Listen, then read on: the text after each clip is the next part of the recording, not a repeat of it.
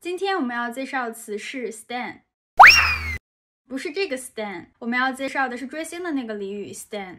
这个词的意思是狂热到极致的粉丝，极端的粉丝，比我们中文里的铁粉、死忠粉更狂热、更夸张一些。stan 是由两个词组成的：stalker 跟踪者和 fan 粉丝。这种人会不遗余力地迷恋某个名人、某个明星。美国说唱歌手 Eminem 就曾写了一首歌叫《Stan》，来纪念他的一位非常狂热、狂热到有点过头的粉丝。比如，你为了喜欢的偶像冒雨等整整一晚上，这就是一种 Stan 的行为。但这个词不仅仅局限于对于明星、名人的喜欢，它也可以指你对某个品牌、某个事情的热爱。Stan 可以作为动词使用，I stand for Harry Potter，我超级喜欢哈利波特。